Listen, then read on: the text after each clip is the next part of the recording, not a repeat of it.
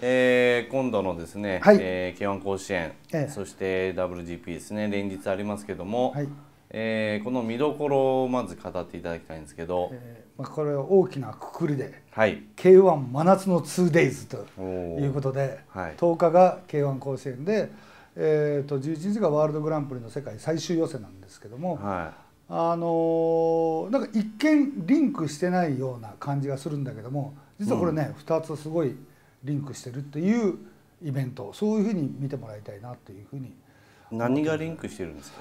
あのーまあ、僕らが今本当に力一番入れてるのは、はい。えーとまあ、僕記者会見で、えーいつも言ってるんですけど k 1甲子園に一番力入れてるぐらいのつもりですっていううん。感じがあったんだけどいや言ってるんですけども、あのーもう k 1も17年目？16ですね。16年16年、えー経って。はい。えー、と今の k 1甲子園に出る子なんかはちょうど本当 k 1が生まれた時からもうあった、あー世代なんだけどもそね。れがもう本当 k 1を見てすごいレベルの高い、はい。あのー高校生がどんどんどんどん、まあ、ひろや君だけかなと思ったらひろや君以外にたくさんいて、ひろや君も負けそうなはい。ぐらいのレベルが高いという。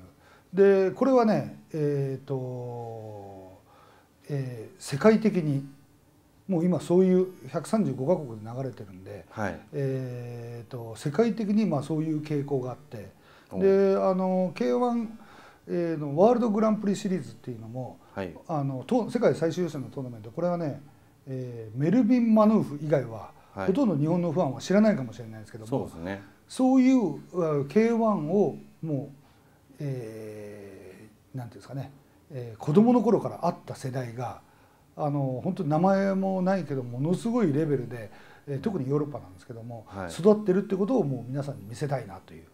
えーでまあ K1 甲子園がねあの一つのキーワードで、はいまずちょっと K1 甲子園から説明すると。はい K1 甲子園はその、まあ、大晦日にある一つの、えーめなんか、えー、と目玉の、はい。えーイベンえーとカテゴリーというのかあのそういう企画みたいな感じに思われるけど、実はそうじゃなくて本当に僕らが僕らが今一番やりたいことっていうのは K1 のアマチュアの層を広げると。おいう。ーそれはなぜアマチュアのそうなんですか？いやあのーだから今まで、えー、K1 っていうとどうしてもなんかこうどっちかで言えば、えーテレビとか、はい。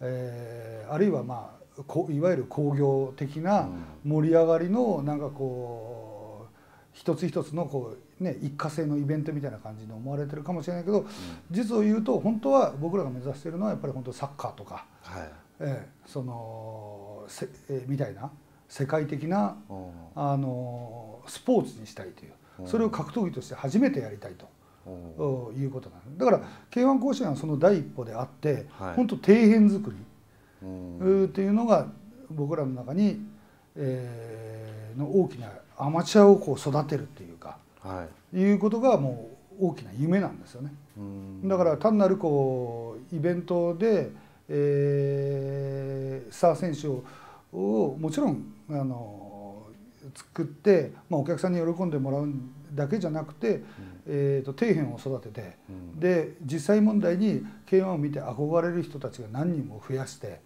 で、えーその中でえっ、となんていうのかな、えー競技人口を増やしてって。うん。でそこで活躍した選手がもうすごいレベルの中で、うん。えー、とプロになっていく。それを最終的に目指したいと。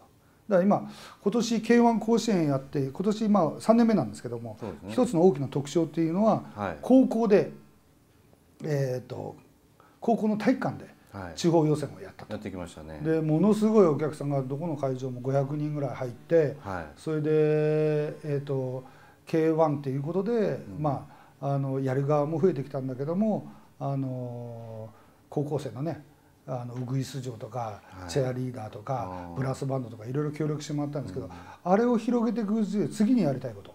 はい。次にやりたいことは学校のあの